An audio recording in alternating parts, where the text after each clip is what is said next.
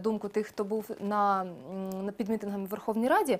Зараз у нас ще є запитання. Вже більше години триває наш марафон в прямому ефірі. І люди на сторінці обозрівателю Фейсбук задають питання стосовно медичної реформи. І ви, я думаю, нам відповісте на них. Дивіться, і на...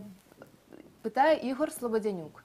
І навіщо нам ФАПи без лікарів? Вони лише е, валідол можуть запропонувати і ЗП отримати. Я пропоную пану Ігорю переїхати в село і відвідати свою маму, якщо вона там не живе. І тоді хай його мама вирішить, чи їй потрібен ФАП, просто щоб піти поміряти тиск, і щоб їй дали таблеточку від е, тиску. Поки швидка до неї буде їхати, це пройде півтори години. От- Тому дуже легко, знаєте, задавати теоретикам і міжнародним експертам, дуже легко задавати е, запитання, не знаючи реалій укр- життя українських людей. І ця жіночка ніколи не може, їй 80 років, у неї чоловік паралізований лежить. До неї приходить медсестра, яка їй принесе валідол. І е, позбавляти цих людей права на це зараз ми не маємо. Дайте їм спочатку швидку, яка може приїхати за 5 хвилин. Дайте йому сімейного лікаря, до якого вони можуть дійти ніжками своїми. У них немає машин. А тоді задавайте такі запитання. Ну і ще Ігор Слободянюк додає, що у нас чи є у нас доступ до безкоштовної медицини. Ну, тут я власне можу відповісти, А, що її немає. І власне навіть е, пані Уляна Супрун, виконувач обов'язків міністра охорони здоров'я, вона підтвердила те, що зараз в Україні немає безкоштовної, тому і приймається реформа. Е, У нас є доступ до безоплатної медицини. Безкоштовного в світі немає нічого. Хтось за це має платити. Так от потрібно визначити, за що платить держава. І е, реформа нами зроблена, тобто за медичну послугу. Тепер МОЗ має оприлюднити перелік, за що платить держава, за що не платить. А головне, що нам потрібно знайти, ввести обов'язкове медичне страхування для того, щоб ті люди, у яких нема грошей на оплату того, що не оплачує держава, щоб вони отримали цей шанс. Тому законопроекти не 6327 є реформою, а 2409, 7065 і законопроекти про обов'язкове медичне страхування, які дозволять створити систему доступної е, охорони здоров'я тим людям, у яких нема грошей, соціально незахищеним. Ну а дивіться, от стосовно того сюжету, який був до цього, люди хвилюються, що не призведе реформа, е, чи що призведе реформа до закриття медичних закладів. Так, от є така, е, я не знаю, чи, А, чи це, це- міф, чи це правда, Ні, що це, це, може абсолютно правда. Я можу економічно вам обґрунтувати, яким чином Ну там в реформі скорочення. що сказано? Те, що е, просто згідно з популярністю цих медичних закладів, так, Так. як я розумію. Тобто, Так. якщо е, до лікарні, до якогось медичного закладу ходить більше людей. І воно має більший попит, Так. туди будуть іти гроші. Якщо ні, то гроші туди йти не будуть, і ці е, медичні заклади будуть переформатовуватися в хосписи Безперечно, і таке абсолютно інше. правильно. А, тільки хто на що буде пере- перепрофільовуватись, рекомендації немає. Що має бути зроблено, немає. А я вам сказала, що у нас сьогодні а, держава фінансує онкологію на 14%, а серцево-судинні хвороби на 26%. Це означає, що зі 100 людей, які прийдуть в лікарню з онкологією, ще 900 помирають вдома, тому що за них держава не платить. І ці гроші в бюджет не закладені. Почуйте мене, 14% сьогодні прийдуть в цю лікарню. А завтра в державі з'являться кошти, щоб покрити витрати. Економіка буде зростати. Ми зможемо всім онкохворим покрити. І їх прийде не 100, їх прийде тисяча, а лікарня вже буде закрита. Задайте запитання, чому у нас 65 тисяч родин сьогодні не мають куди притулати, притулити дитину в дитячий садочок? Знаєте чому? Тому що в 90-х роках, коли е, народжуваність впала, абсолютно прогнозовано, а садочки закрили, думали, що дітей більше не буде. Потім народжуваність прогнозовано зросла, і тепер нема куди притулити дітей. Тобто після цієї реформи нормою, коли закриються заклади, буде нормою чекати півроку на консультацію кардіолога, на консультацію гастроентеролога, тому що коли захворюваність і захворюваність у нас ще зросте. Чому? Тому що тривалість життя зросте. Сьогодні наші чоловіки помирають в 55 від інфаркта, середня тривалість життя для чоловіків 66. 67.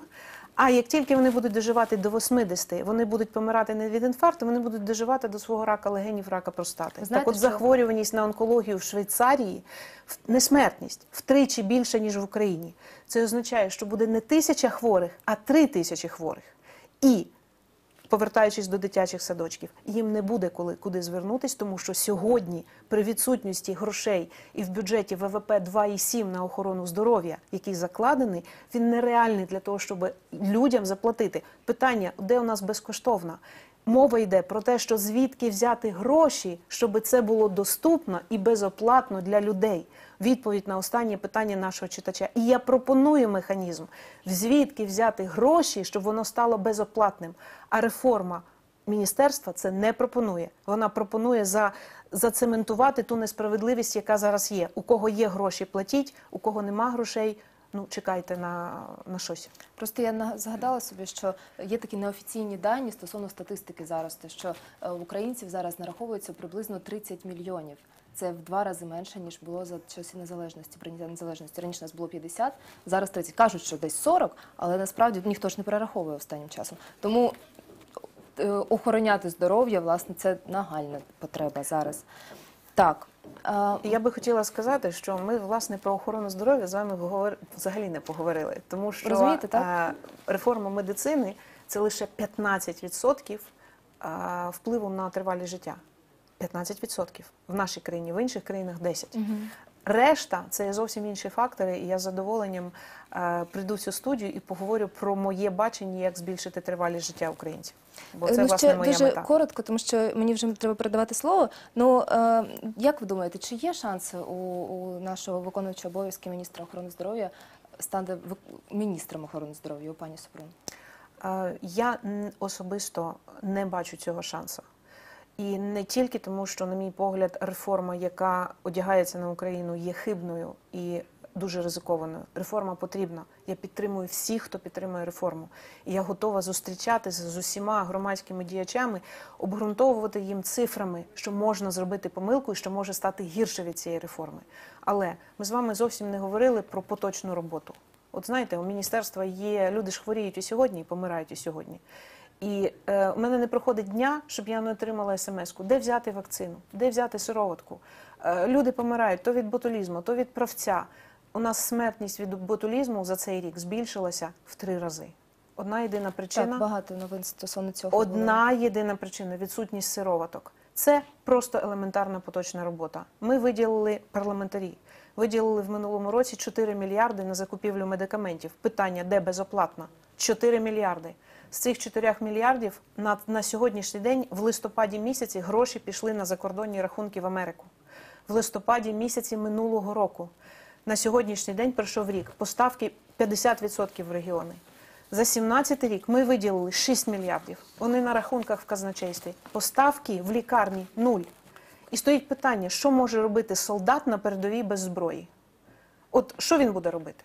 Що має робити лікар в лікарні без ліків? Поясніть мені.